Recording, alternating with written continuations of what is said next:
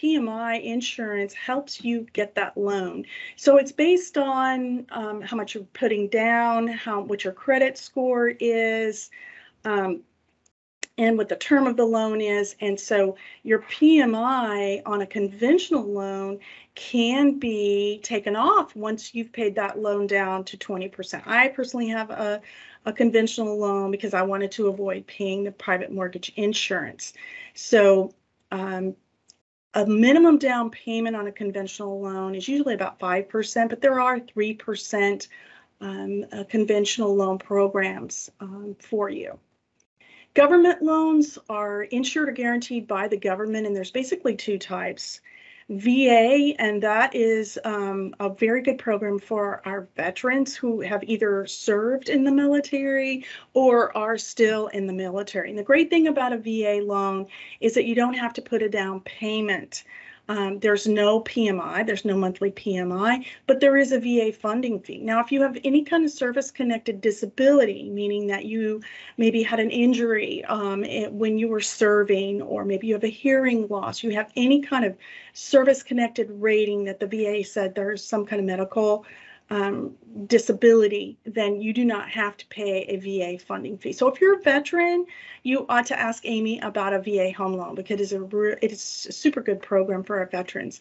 FHA, Federal Housing Administration, was created in in the 60s to help people in the United States be able to afford a home. Not everybody had five, 10% down. So it is a uh, program that uh, the minimum down payment is three and a half percent. That down payment can be a gift. The guidelines are a lot easier. I had an FHA loan and it was really easy to refinance when the interest rates went down from 12%. I think I refinanced my FHA loan three times. But there is a mortgage insurance premium off, upfront mortgage insurance premium, as well as a monthly MIP. Um, sellers can pay up to 6% of the closing costs on an FHA loan. So these there's many programs for you um, to qualify to buy a mortgage.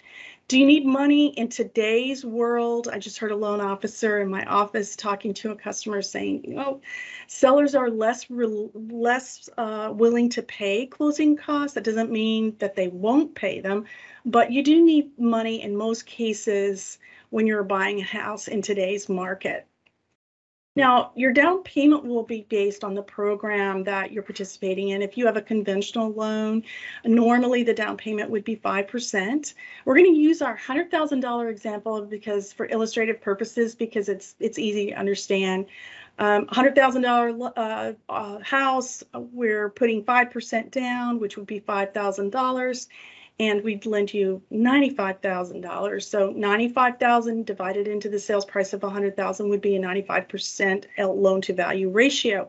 So the LTV is kind of a good thing for you to understand. You can talk to Amy and say, well, you know, Amy, um, what would your rate be if I put 10% down and I had a 90% LTV? So that's how we calculate your down payment. In doing this class for many years, what I have found is there's a lot of terms that the average person just doesn't really know what those companies do or what those terms are.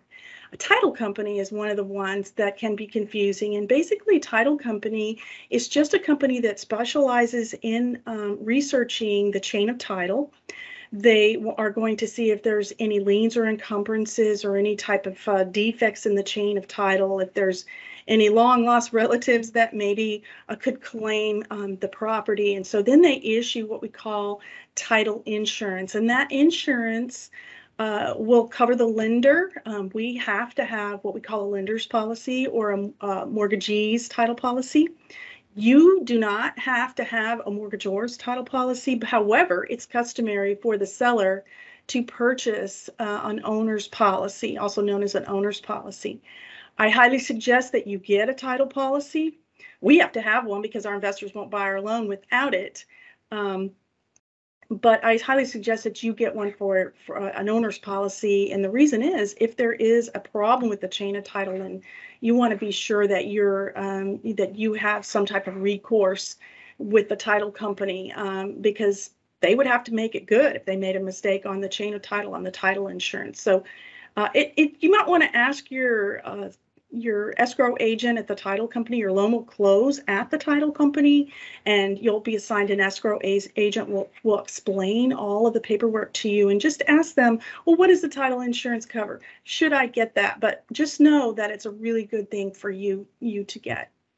There's typical loan closing costs with most loans. You'll have your lender fees, your admin, processing, underwriting, third party fees such as the mortgagee's title policy we just discussed, appraisal fees, credit report, flood zone certification, attorney's fees, um, survey fees, and then we have escrow fees for taxes and insurance or PMI and, and mortgage insurance. So you'll the lender uh, will will give closing instructions to the title company, and they'll collect um, three months worth of taxes, three months worth of insurance, so that we have a sort of a cushion in your uh, escrow account to pay the taxes and insurance.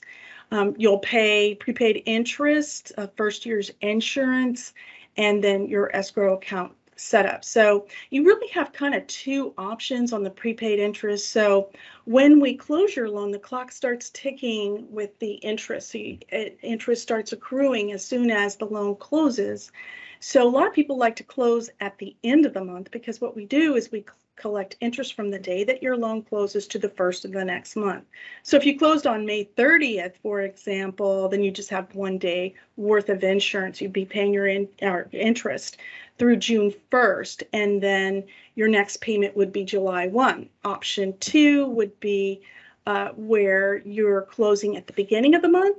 Say it's June 1st, we get 30 days worth of interest, and then you wouldn't make a payment until August 1st. You end up paying the same amount, but um, just so you know what prepaid interest is.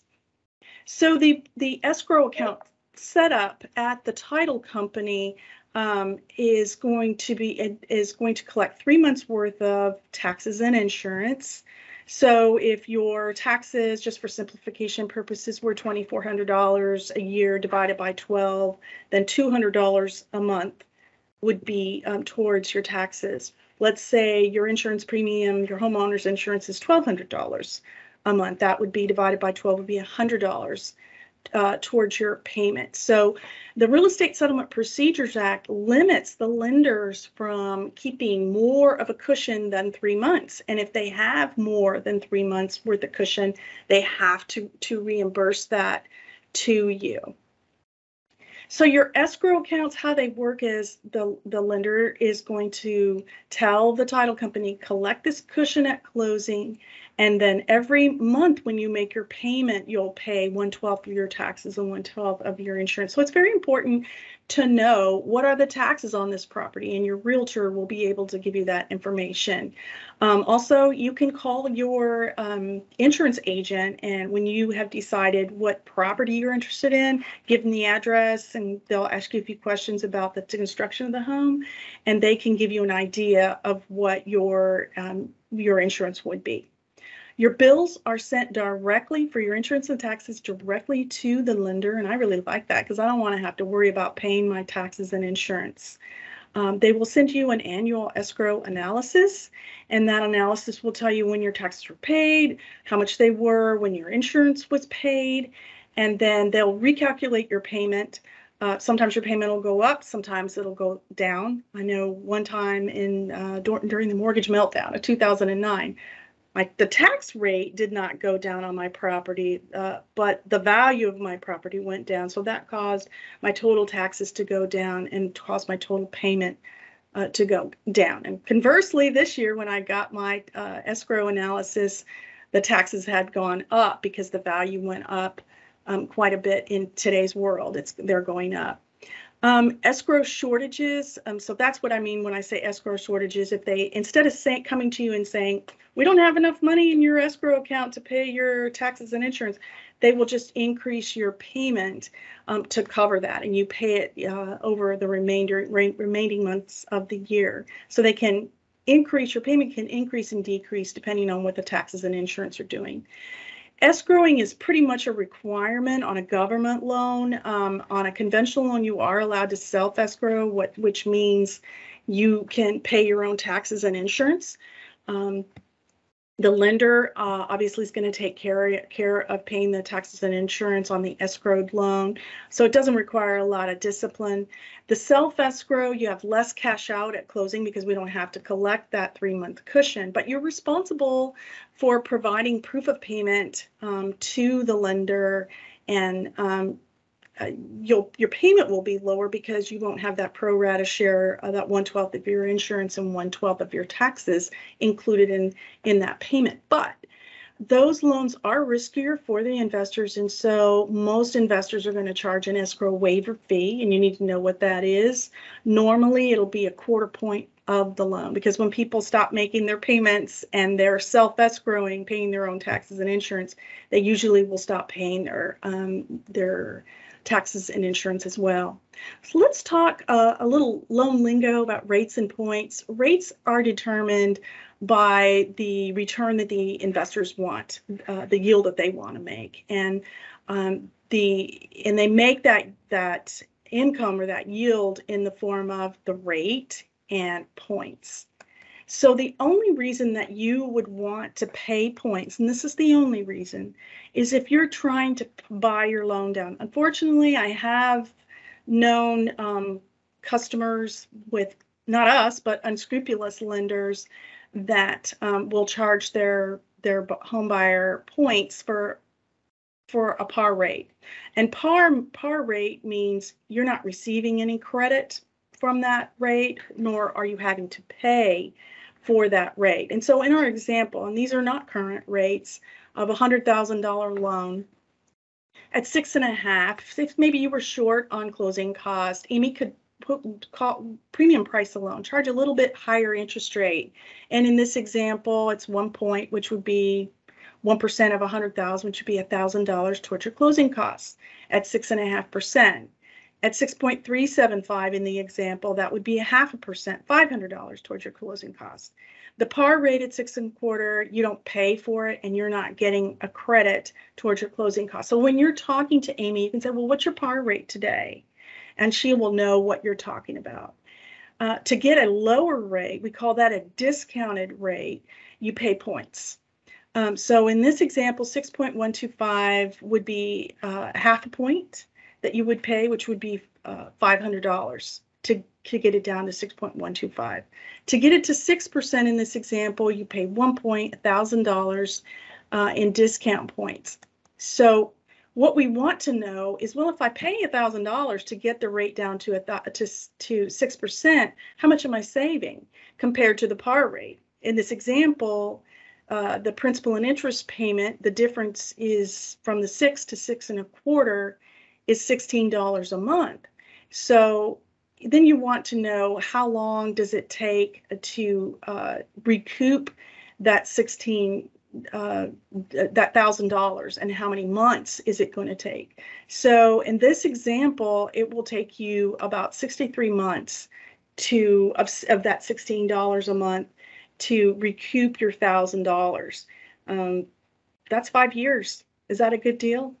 Probably not so let Amy talk to you about what might be a good strategy as far as pain points. So basically, the longer you want to live in the house, if this is your dream home, the more you care about your interest rate.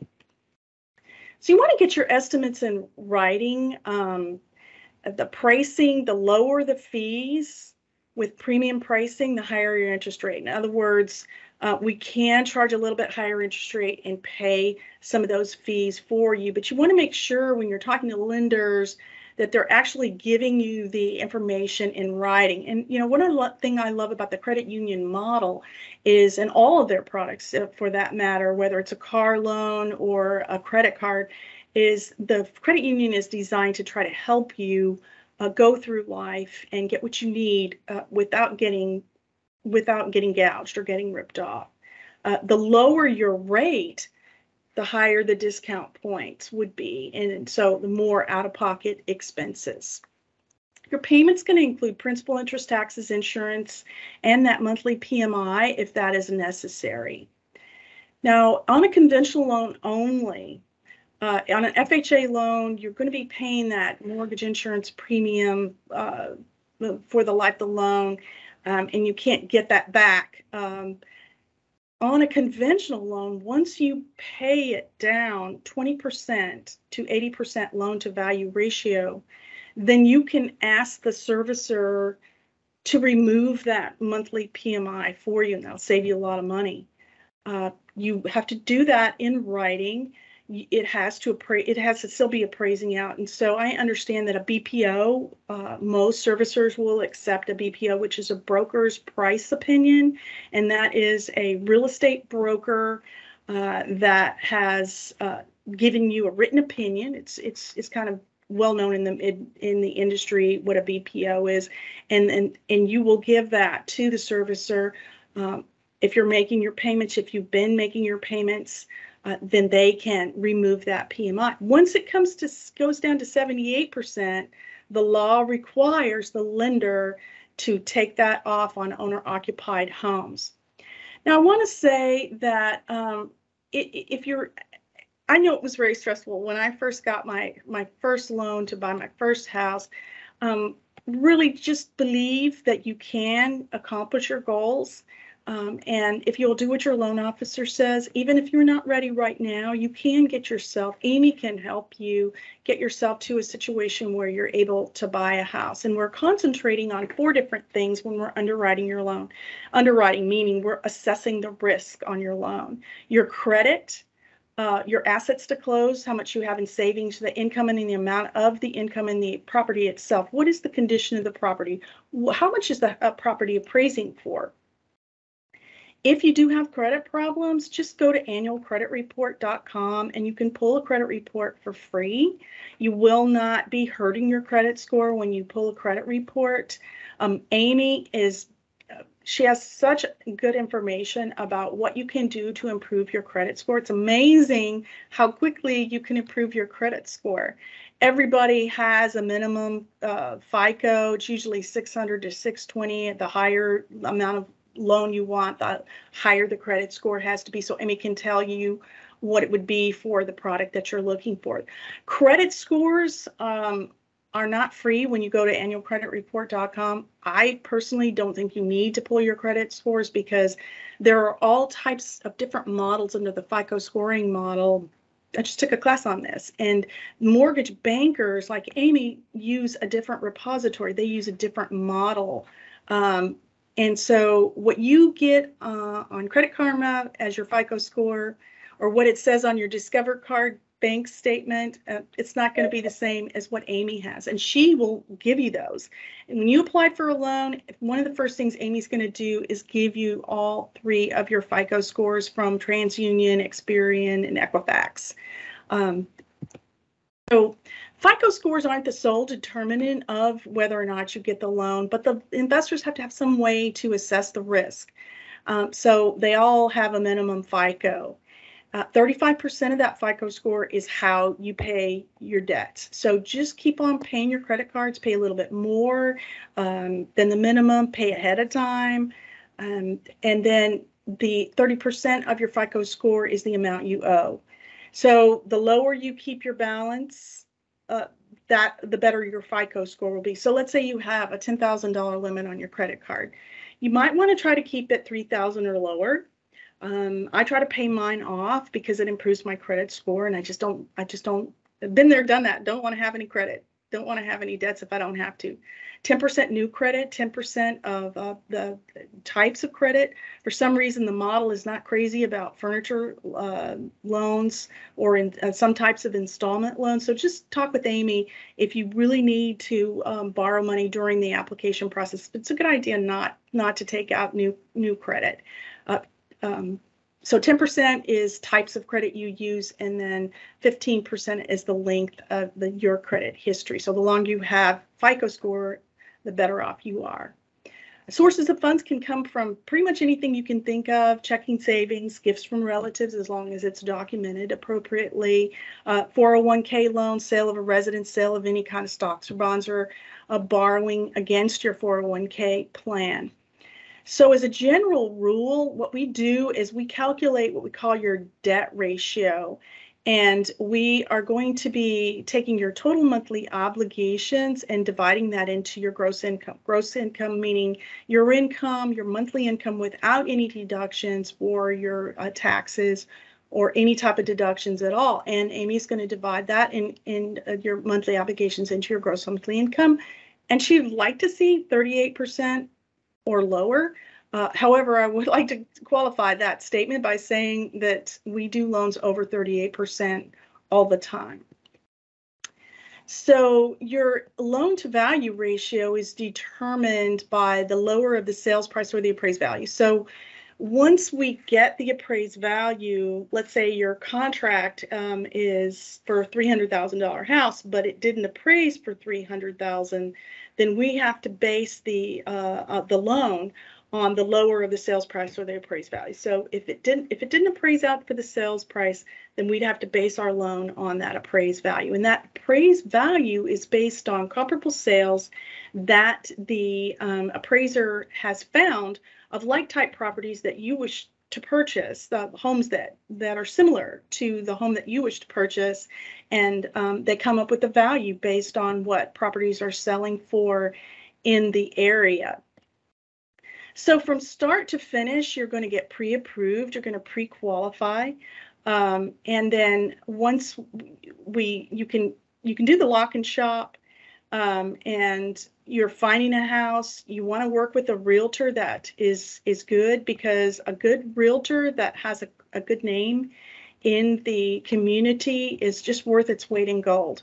So in a seller's market, you want to use someone that you really like. If you do not enjoy the person that you're working with, move on to someone else. And there are some strategies for buying a home in a seller's market. I looked up some information that I wanted to briefly go over with you on uh, uh, the state of Texas as well as Bexar County. The state of Texas has 1.3 months worth of inventory. Now that's gone up. It will last month, uh, um, excuse me, this is for April, 1.3 months. They're about a month behind. 1.1 months in March. So we're seeing 0.2 months worth of inventory. So it's gone up a little bit. The median sales price in Texas is $350,000. Um, the average is 432. In Bexar County, the median is 325,000 and there's 4,668 houses available for sale. So if you're in a bigger community, if you're in a large metropolitan area, you have more properties available. So it's not quite as is um, as hard as it is on someone like me who I'm in Bell County in Belton, which is in Central Texas, and we have 0.4 months worth of inventory. So if you're in a bigger city, you have a little bit more opportunity to um, to shop and and uh, negotiate. But there are some strategies that you can use to um, negotiate or to help you get your contract accepted. Get a pre-approval. Um, that's the number one thing that uh, experts say is go ahead and get a pre-approval uh, because the realtors, the listing agents know that that means that you've proven to the loan officer and to the underwriter that you actually can qualify for a loan. Use a lender that that uh, like SWBC that has a good uh, reputation in the community. So if Amy issues a pre-approval letter, she is the the other uh, agents, listing agents know that that loan is uh, probably going to close as long as it appraises out. Um, you might want to use a strategy to go under budget, like um, bid on a house that maybe is under your budget, because if you have to, if you're in a competitive market, you might have to bid more. Um, that's what we're seeing um, nationally, not only in, in Texas, but nationwide. You can do things like offer to lease the house back to the seller, um, have a shorter option period. Um, and no normally it used to be a 10 day option, which would give you time to have an inspector look at that house and check it over and see if there's maybe anything wrong with it.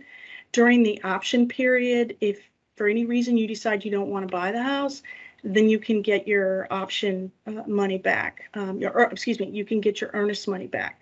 Another strategy to get your offer accepted is to deposit more earnest money. Do do a larger uh, amount of earnest money, and you can ask your real estate agent what is customary for the area, and um, they can tell you uh, what what a, a good amount of earnest money would be. Uh, buy as is without asking for a lot of repairs if you're in a seller's market. Um, and then have your have your lender have amy call the listing agent and tell them what a great credit risk you are. Amy can verify the funds that you have um, to close to make sure that they understand that this deal is going to close and she can advocate on behalf of your of your application. Um, so once you get your contract accepted you want to research your insurance because there's a lot of difference between insurance companies. Uh, I have been with, I won't name the company, but I've been with this company, insurance company, for like 40 years. And when I bought my house, uh, April of last year, they were going to charge me more money per month. It was like $35 a month more. And then they wanted a $5,000 deductible, which they didn't even explain to me. So if something happens to my house, and I have to make a claim, I have to pay $5,000 out of pocket. That's not good. So I was able to work with another insurance uh, company and get a $1,000 deductible from a very reputable company and um, and, and get better coverage and you know $1,000 deductible and my premium was lower. So you're you'd be surprised how much difference there is in insurance companies. So as soon as you find out what house you're going to buy, call the company that you're paying your auto insurance, and then um, uh, Amy can give you some num- names of some insurance companies so you can start researching that. And that can take uh, quite a bit of uh, time. Get an inspection. Uh, the inspector may find some things that would trigger a renegotiation of the contract. Uh, you do not have to have an inspection. The lender doesn't even really want to see it, but that, it's a good idea to get an inspection so that you can see, you know, what what the condition of the property is. Uh, we'll get the appraisal. Uh, the appraiser may have some lender required repairs. Get clear title. We'll get clear title to the property. We'll order a survey. We don't want to charge anyone for a survey until we have our appraisal back. And then we'll re-verify your cash to close employment uh, and we'll recalculate your credit ratio. So please not try, you know, a lot of people think that they don't have to, they can just go out and charge furniture or do you know get new credit cards because they're I'm already I'm already qualified but be very careful about that. Don't do anything until your loan's closed. Uh, so how to prepare for the closing um, if you the easiest way is to elect to agree to accept information from us electronically just like you do your bank or any type of credit card. So you go into a secured site and you have a passcode. And then when your loan is getting ready to close, we'll send you a closing disclosure, a CD. And um, we are required to give you three business days to look at that closing disclosure to see if you have any kind of questions. And we have to track that. So once you get an email from us, um, uh, you click on that email, be sure and go and click on it, and that will tell us that you uh, have received the closing disclosure and that three days will start uh, the ticking. Uh, so it will resemble a loan estimate. It shouldn't be very far off. We're not allowed to get to make very many mistakes on that closing disclosure. So uh, pro the processor is going to be submitting the file to the closer uh, the closer is going to give information to the escrow agent, closing instructions to the escrow officer. That person will call you and say, hey, what time can you come in? We need about an hour's worth of time. Some of them have uh, mobile notaries that can come to your office. Um, and then they'll calculate how much you need to bring to closing and they'll ask you either to wire that money or to send certified funds you get the keys to your house. Usually i know what happened with me is i closed on a friday at 4.30 they gave me the closing disclosure. I went over i bought a new house so i took that over to the sales office and they gave me the keys to my house. So your escrow officer is going to give you a first payment letter. Sometimes you don't get um, you don't get a uh, there's a time lag between the closing of your loan and when it sets gets set up with the servicer. So you'll you'll get that information where to make your first payment and when when the first payment is due. And now I'm going to turn it over to Amy. Amy, tell us all about the benefits of starting your home buying experiment experience with FirstMark. I will do, I will it. do Thank it. you so much. Thank you, Tammy. You always do such a great job. Thank we you. appreciate you. Well, hello everyone. I'm Amy. I am the loan officer that will be assisting you through this process. Um, first, I just want to thank you for being here, and I want to tell you that FirstMark, very much our focus is on you. Our focus is on the member and what can we do to assist the member? How can we make improvements for you? Go through this process with you. We want to have this be a smooth process for you. We want you comfortable. We want to be your partner from start to finish. Um, we want to walk with you through this home buying journey. So it's it's very very important that you understand you are the reason we get up and go to work every day. So thank you for giving us this opportunity. You're going to start with the counseling that we offer you. That is me. That is my position and my role is to explain the process to you, answer all of your questions. I want to be that person for you. So please, please don't hesitate. Um, this this can seem like an overwhelming process, but it doesn't have to be an overwhelming process. Your partner will make all the difference for you. Um, our mortgage team that's dedicated to FirstMark member loans um, will handle your loan with complete expertise, a lot of professionalism, start to finish. Our application is done electronically. That is for your security. We have a platform called Turnkey. It is very, very secure. Just in the nature of our business, you you must realize how secure things have to be just because of the documents that we deal with are very personal documents so we take it very seriously and our our software is designed with all of that in mind um, like Tammy said, I recommend getting a pre-approval letter. This time last year, everyone had pre-qualification letters. That was sufficient. That was that was all that was expected. That was standard operating procedure. Well, this year is not last year. This is a different market, and everyone needs to be more prepared and take any additional steps they can take to be uh, the standout buyer. And one way that we are helping you do that is by pre approving you. We will get your pay stubs from you. We will get your W 2s. We will get your bank statements and we will put a file together and we will present it to an underwriter and we will get you approved, even though we don't have a house yet. And then once you find that house, we just slip the house into the file do a quick review, and we're ready to go. Lock and shop is something that's new. Um, again, this time not too long ago, you had to have a property under contract before you could lock in your interest rate. Um, SWBC and FirstMark were always looking for new ways to be competitive and to help you all have a competitive edge. And lock and shop is what we've come up with. And that enables you to lock in your interest rate now before you find a house. You do have to pre um, apply, excuse me, you do have to apply. You have to have a complete loan file. Um, and we we can do lock and shop and that will protect you from rates going up while you're trying to find a house. Um, so that is something that we can talk about. We also, FirstMark and SWBC, we have a program called Blend Realty you really should have a realtor. One thing some people do not realize is that realtors are actually free. Realtors are free for buyers. It is typically the seller that, that pays the realtor. So there's not a lot of reason to skip having a realtor. All they do is real estate transactions all day, every day. That's what they do. So why not use that expertise to assist you in your process that maybe maybe you haven't done this before and they are the experts on the real estate front? Well we have a program where we will pair you with a realtor. So i'm saying you should have a realtor. I'm saying a realtor is free for you.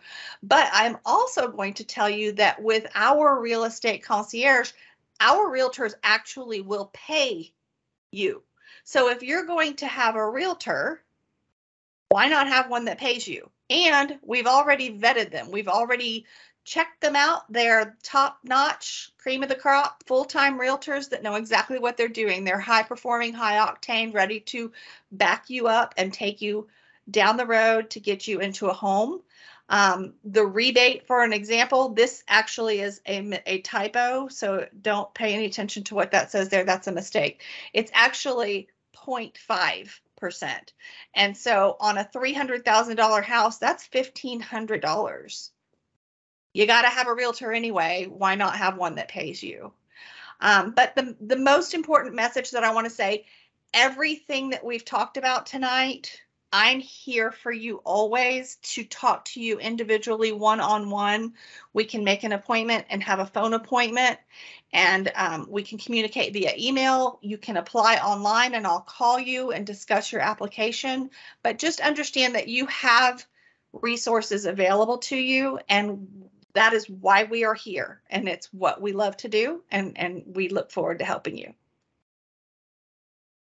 thank you amy you're welcome here's amy's information if ever anybody needs it Yes, thank you both, Amy and Tammy. Uh, this was a great presentation.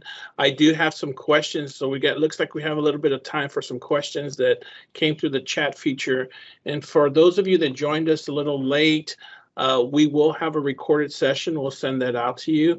But also know that you can type your questions in the chat feature. There's a little bubble if you look for, there's a little call out on the team site wherever you have your uh, toolbar. You can look for it and it said there's a chat feature in there so you can just type your question. So a couple questions that came through and I'll start with a softball here, throw. Uh, First one is like, how long is the pre-approval good for, Amy? It is good for 120 days. Excellent. Okay. At the end of 120 days, you do not have to start everything over. We just have to pull a new credit report. That's when the credit expires. Okay. And then, uh, so, you know, Tammy, you talked about this and, you know, market is 1.4 months of what's available in, in the housing market. You know, a lot of us are having to hear about people bidding over the house and one of the the responses from one of the guests is like they've even heard of a hundred thousand i've heard of concessions where they even give uh, season tickets or tickets to one of their you know they're just trying everything they're letting them stay in the home you know rent free for the next three months until they buy another home. And so there's just all these things that they're doing because the inventory is so low. And uh, you know, any any ideas that y'all y'all can provide or any uh, support that you know that that uh, lets our our participants know what what they can do to get their home that they're wanting to purchase?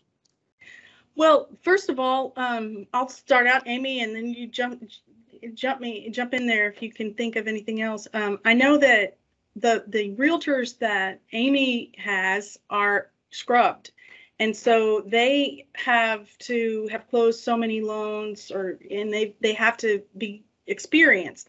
So have a discussion with your realtor. What is the months of inventory in this particular neighborhood?